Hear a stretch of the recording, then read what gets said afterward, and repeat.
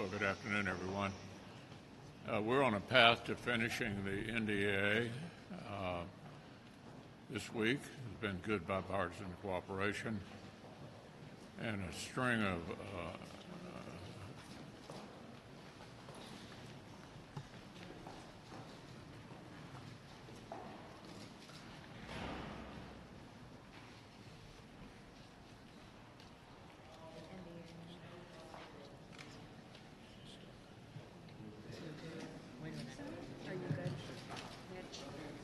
Okay, Mitch? Anything else you want to say, or should we just go back to your office? Do you want to say anything else to the press? Go ahead, John. I'll take it. Let's go back to you. Go ahead, John.